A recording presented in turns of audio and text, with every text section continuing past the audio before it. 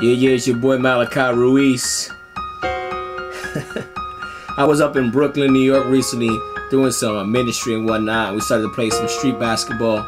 And this big dude stepped on my foot, right on my toenail, and I was wearing some uh, suede New Balances. I mean, it's a no-no when you're playing ball in the street.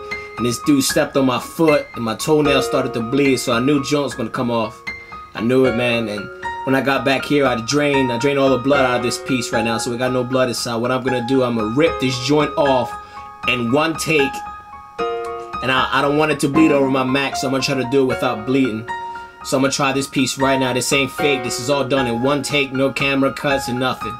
So we're gonna do it right now, man. If I scream, I mean deal with it, cause this jaw is gonna hurt like heck. Here we go. Here we go. See that piece?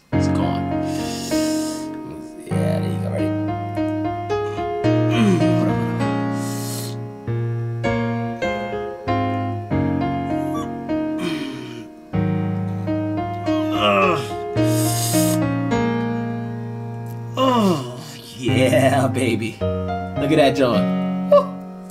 Yeah, yeah. Hmm. That thing is trifling. Look at that. It's nasty. I mean, if, this, if this ever happens to you, man, and you get an opportunity to do this, I'm try this at home. This is hot. It's a little painful, but you know what I mean. Sometimes you got to get rid of this junk. Amen.